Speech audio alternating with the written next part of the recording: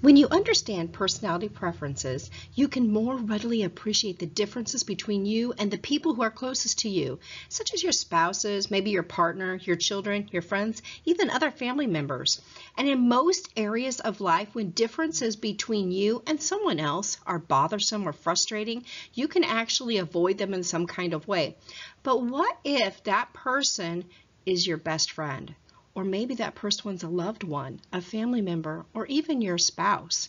You'd have to do a lot or lose a lot to walk away from it. So knowledge of personality type allows us to see the differences as those, just as being different, not right or wrong, we're just all different. So instead of labeling someone or putting value judgments on their behavior, you can start to see that behavior reflects their personality type or their preference. And it's not really designed to offend you or frustrate you or make you angry. Many couples can learn to appreciate the differences and even can see them through a humorous light. When we look at the INTJ as partners or in their relationships, they're very loyal, but they're very independent.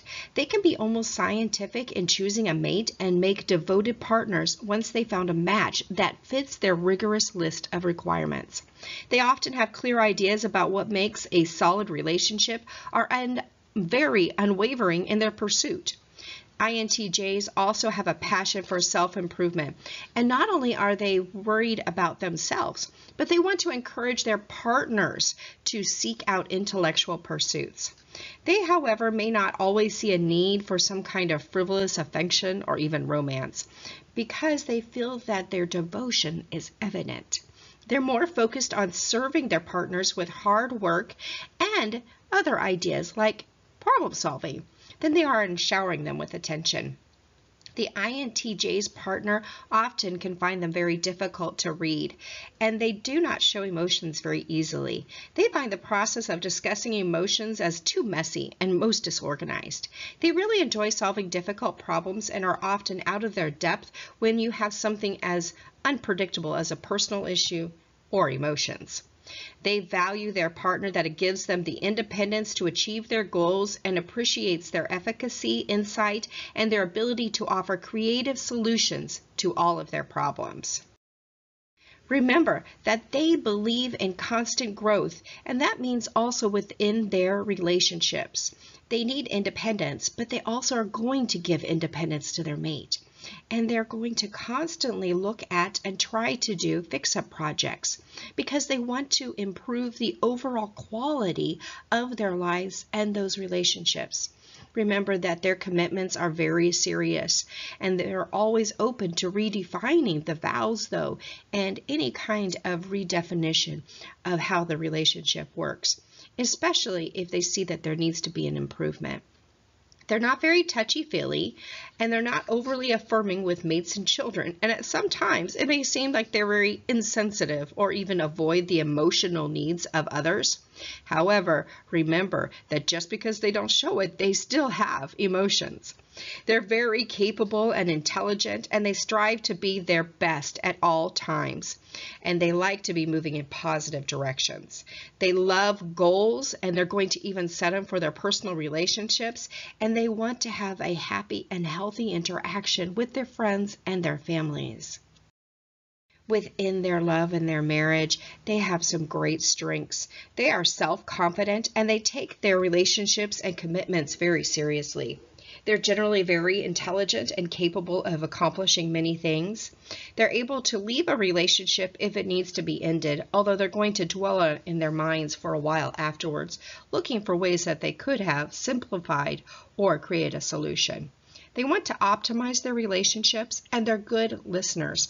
Always remember too that they're not very threatened by conflict or criticism. For weaknesses, they don't tend to be very in tune with others' feelings and may be insensitive at times, even avoid them. They tend to respond to conflict with any kind of logic and reason rather than giving some kind of emotional support.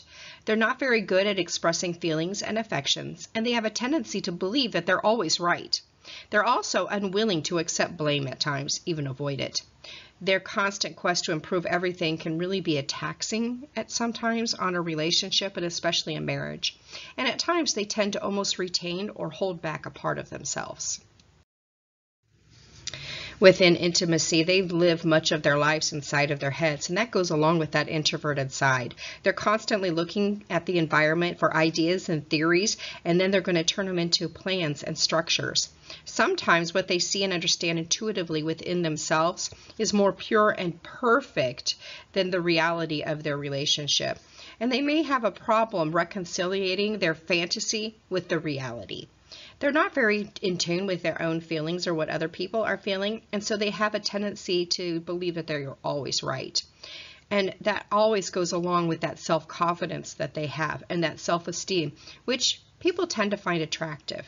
However, their lack of sensitivity to others can be a real problem if it causes them to inadvertently hurt somebody's feelings, especially their spouse. If this is a problem, they should always remember to let their mate be the one who is right sometimes and try to be aware of the emotional effect that their words have on them. Within conflict, the INTJs also need to remember to be supportive to their mate's emotional needs. Sexually, the INTJ thinks and loves thinking about intimacy and ways to make it perfect. And they're going to have creative and intense ways to shine through in this arena. However, in some negative relationships, they might enjoy thinking about sex more than really doing it. They are likely to approach intimacy more from a theoretical side and a creative perspective than an opportunity to really express love and affection. The INTJ has really learned the importance of these expressions to the health of their relationship, and because that, they're going to learn to be very touchy-feely in this aspect. They are able to leave relationships when they're over and get on with their lives, and especially if they believe it's the right thing to do. But they're going to have more difficulty accomplishing the task than they are to really exhibit it to other people. They're very intense and intelligent people who bring depth and insight into major areas of their lives. And in relationships, their greatest potential pitfall is the tendency to really think about things more often than they are going to do things. So they have a great difficulty in balancing and reconciling the differences between their fantasies and their inner visions of what's going to happen and the reality of what they're living in. However, they do tend to be very positive, and within those positive and healthy relationships, they're likely to really love them and to excel and to really bound and be excited about life. The best kindred souls for the INTJ are going to be the ENFP, the ENTP, the ISTJ, INTP, and the ENTJ. So let's look at why we have chosen those kindred souls. So our natural attraction to people who share our dominant function, but who use it in different directions works very well for us. We not only flip-flop that introverted or extroverted trait, but we're also going to flip-flop the judging and perceiving trait. So in this way, the partner that we choose for ourselves is going to have a very different approach to dealing with the external world.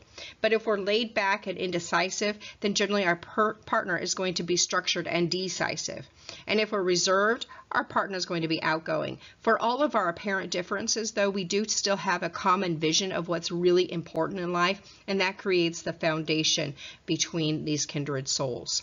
Although we really believe that this model is going to work well in finding and maintaining healthy relationships, it's important to remember that it's only a guideline just a guideline, just a guideline to help understand and to give some tools and some ideas of things that value in a relationship, but they're not meant to be followed strictly. So remember that any two well-developed individuals of any type can make a relationship work. And work, really work, is the key problem here and the key concept because there's no such thing as an effortless relationship. So don't use these ideas as an excuse to really dump your relationship.